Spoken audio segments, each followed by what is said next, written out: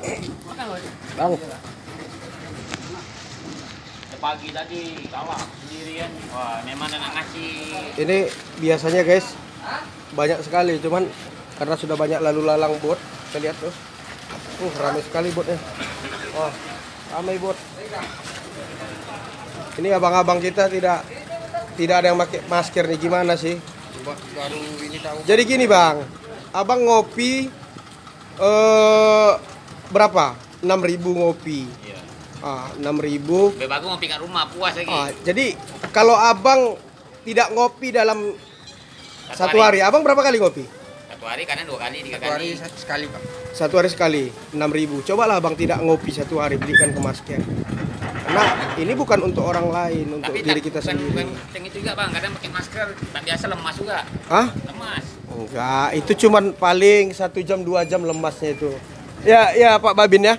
Harus pakai masker. Harus pakai masker kan? Kalau perlu pakai sarung tangan juga. Ah, Tidak bosan-bosannya kami himbau kepada Ah. ibu yang beraktivitas di luar rumah Enggak mohon harapannya untuk menggunakan masker ya. Ya. Ah. Saya pikir nanti.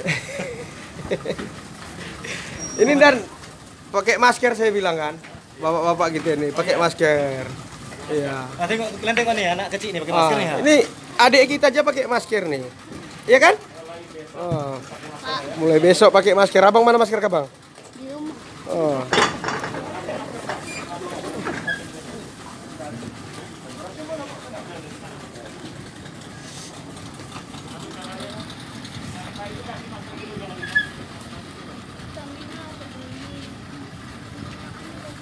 Kebetulan ini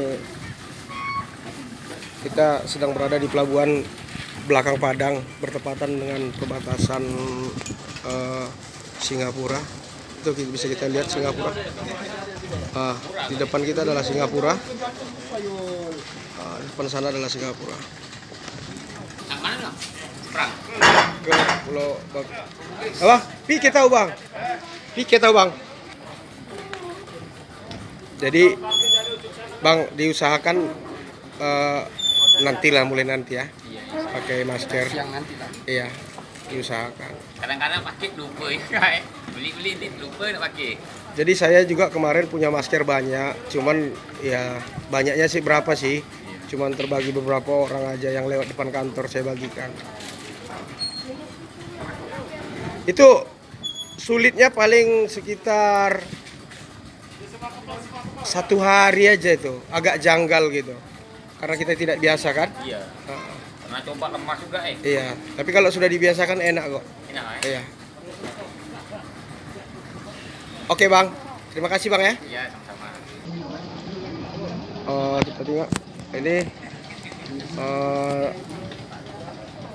abang-abang kita yang dari Pertamina ada menyumbangkan sumbasinya berupa sembako untuk masyarakat. Eh, turut turut dalam kesempatan ini ada juga bersama kita Bapak Lurah, Bapak Lurah Amir Kasim SPDI.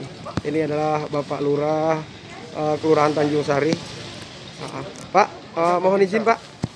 Eh, sembako yang kita terima ini dari mana Pak? Ini dari bantuan Pertamina Pulau Sambu terkait dengan eh, COVID-19 ini sebagai wujud kepedulian eh, Pertamina Pulau Sambu terhadap eh, eh, dua kelurahan di belakang Padang, Kelurahan Tanjung Sari dan Anak Raya. Alhamdulillah tadi baru selesai dibagi, disaksikan oleh Kapolsek dan Daramil, termasuk Babinsa sendiri yang menyaksikan tadi. Alhamdulillah ini sudah sedang dalam proses eh, pembagian. Pak. Alhamdulillah berarti ada berapa paket Pak? Eh, dua kelurahan masing-masing kelurahan 75 paket. Alhamdulillah masyarakat kita terbantu Pak ya. Ya alhamdulillah. Alhamdulillah. Terima kasih Bapak atas waktunya Bapak. Alhamdulillah. Ah, Assalamualaikum. Waalaikumsalam. Alhamdulillah. Ini eh, paket-paket yang didapatkan oleh masyarakat dari Pertamina Sambu. Eh, tepat posisinya ada di depan kita. Maaf, eh, leg Oh ya. Nah, inilah Pertamina Sambu, eh, Badan Usaha BUMN. Saat ini kita berada tepat di perbatasan antara Pulau Batam dengan Singapura. Ah, Ini adalah Singapura, sangat dekat sekali. Jadi mulai terhitung mulai dari besok eh, kita akan buat pos di sini karena ini kan sudah mau memasuki bulan Ramadan. Jadi disinyalir eh, bahwasanya para pemudik pasti banyak. Nanti di sini terdiri dari posnya kesehatan eh, dari Koramil, Polsek, juga Satpol PP juga dengan staf kelurahan. Itu aja yang dapat kami sampaikan untuk kesempatan ini. Semoga COVID-19 tidak lagi berkembang di Indonesia dan segera berakhir.